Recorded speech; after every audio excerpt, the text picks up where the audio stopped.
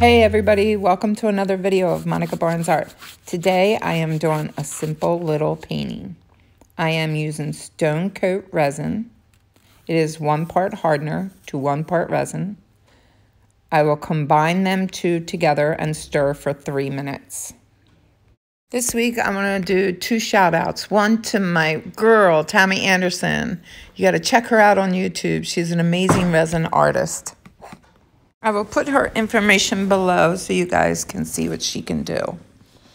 Because she comes up with some good ideas. If you haven't seen her yet, go visit her site. This is Resin Obsession. It is ocean blue. It's like an ink that you can use with resin. It's very, very concentrated. So you see that little tiny drop that I put in there? That's all you need. And that's probably too strong.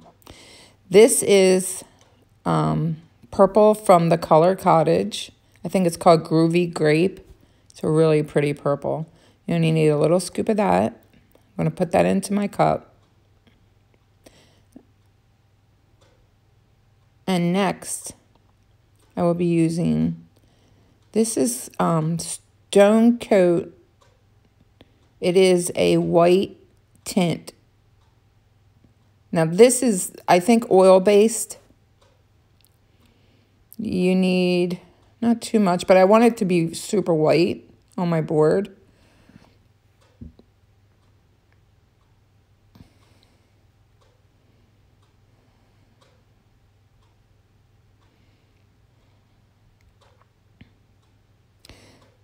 Now I'm just going to combine the resin into each cup.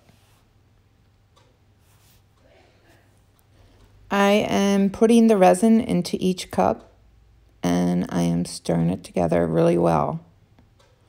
You want to mix it in really good, especially that mica powder. mica powder you definitely want to mix well.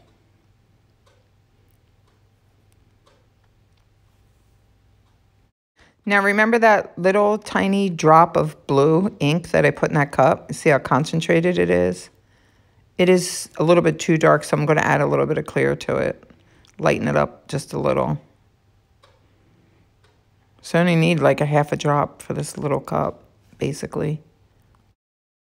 I got done mixing my white up, and I'm just going to pour it on the board. Now remember, this is an oil base. I'm pretty sure it's oil base. It smells like it's oil base.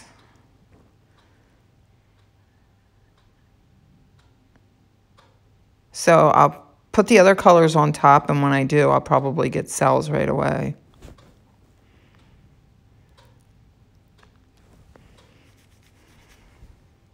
I also wanted to give a shout out, and you need to check her out on YouTube, is Lisa Wyatt Art. She comes up with some good stuff. You guys might want to check her out. I'm going to grab my torch and torch it just a little bit to pop those bubbles.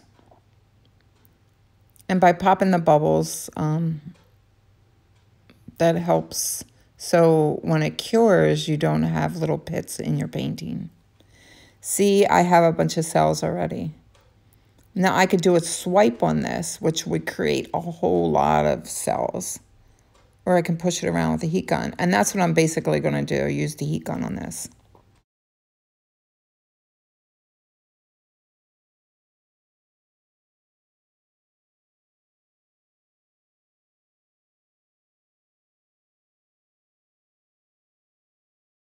So I thought there was too much blue, but you know what it is? I don't think the purple's dark enough. So right now I am going to mix up some darker purple.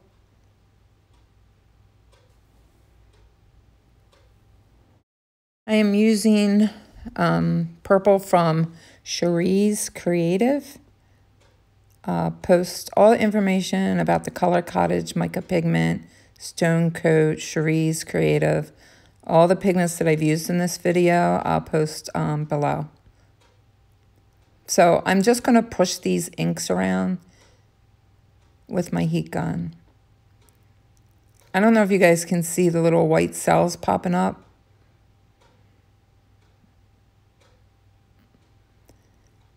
the longer I let it sit, the more cells will actually appear.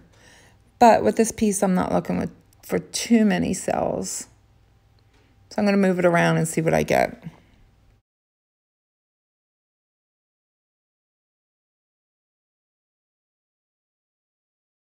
The reason why I'm getting a lot of cells is because the stone coat white that I put down is an oil base and then I'm putting the other colors on top that are not oil base.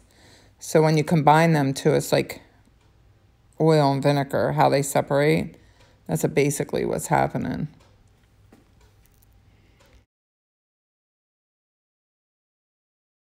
let this piece sit for a minute and see what it does because as it sits, it definitely moves around a little bit and I'm getting more cells. So it sure did move around. Look at this piece. It almost looks like thunderstorm clouds to me. I think it is absolutely amazing. I love it so much. If you liked my video, please give me a thumbs up and subscribe. Hit that bell so you get notifications on my next video. Thanks so much for watching, everybody.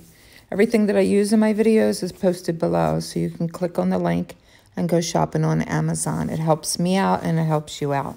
Thanks so much. Dookie. Come on, Duke. Duke. Say hi. Dookie. Oh, Lordy.